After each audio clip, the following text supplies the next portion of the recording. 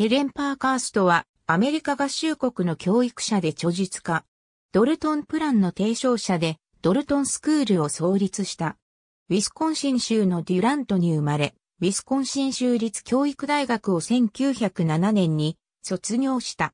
1905年から1913年まで何校かの小学校で勤務。最初の不妊校では、パーカースト一人だけで40人の生徒を教えるという経験もした。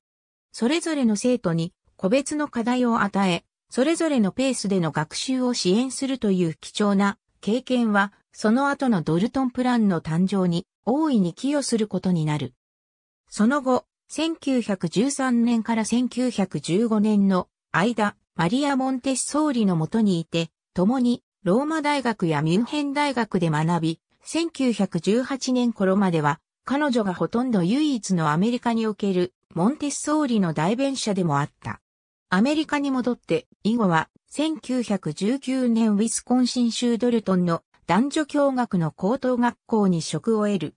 ここで彼女はモンテッソーリやジョン・デューイから着想を得た個別学習と共同によるドルトンプランのアイデアを得る。この学校には1942年まで泊まり、最終的には校長に就任した。ここでの教育実践の間に、彼女はいくつかの雑誌に教育論文を書き始め、そのうちの一つが、1926年タイムズの教育特集に掲載されたドルトンプランを初めて発表した The Laboratory Plan である。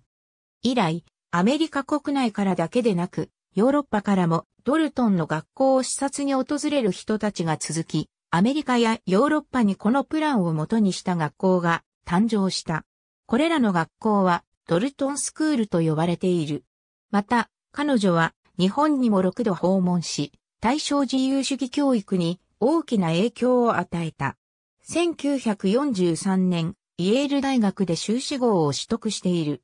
1973年、コネチカット州のニューミルフォードで亡くなった。ありがとうございます。